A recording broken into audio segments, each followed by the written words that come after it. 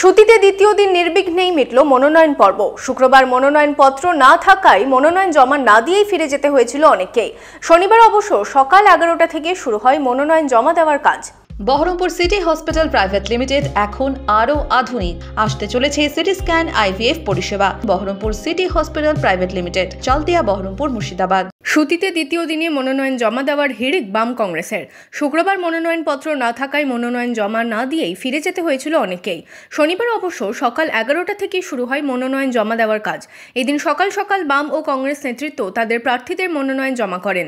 কারণ নির্বাচন কমিশন চিন্তা ভাবনা না করে এটা যে ডিক্লারেশন দিয়েছে এটা ঠিক, কিন্তু তাদের অনুরোধ করব এই সময় আরও আপনারা চিন্তা ভাবনাটা ভালোভাবে করুন। কারণ মানুষ যেন গণতান্ত্রিক ভাবে তাদের অংশগ্রহণ করতে পারে। এবং কোনো রকম বিঘ্ন না ঘটে।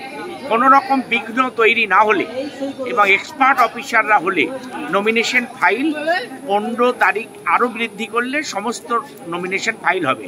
কারণ মানুষের মধ্যে উৎসাহ উদ্দীপনা রয়েছে পঞ্চায়েত ইলেকশনে প্রতিদ্বন্দ্বিতা করার জন্য এবং অংশগ্রহণ করার জন্য। সমস্ত পার্টির দুশো আঠাশটা করে গ্রাম সভা এবং তিরিশটা করে পঞ্চায়েত সমিতি, তাহলে প্রায় আড়াইশো করে যদি হয়, তাহলে প্রায় আড়াই তিন হাজার নমিনেশন কি করে করাবে? এরা একটা মানে এটাকে নিয়ে খেলা করা হচ্ছে।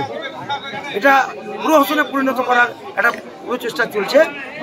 আজকে কতজন প্রার্থীর মনোনয়নপত্র জমা দিচ্ছেন? আমাদের প্রথম শিফটে যে পঁচিশটি জন ঢুকেছে সেগুলোই এখন কমপ্লিট করতে পারেনি। তাহলে বলুন এখন প্রায় বাচ্চা আপনার আড়াইটা বাচ্চে তিনটে লাস্ট টাইম দিয়েছে। তাহলে বলুন কি করে হয়? আমরা দাবি করেছি যতক্ষণ পর্যন্ত প্রার্থীরা যারা নমিনেশন মনোনয়নপত্র জমা দিতে এসছে, ভেতরে থাকবে। রাত বারোটা বাজলেও কমপ্লিট করতে হবে, আমরা কিন্তু ছেড়ে দেব না। এই দিন সকাল থেকে কড়া পুলিশ প্রহরায় শান্তিপূর্ণভাবেই শেষ হয় দ্বিতীয় দিনের মনোনয়ন।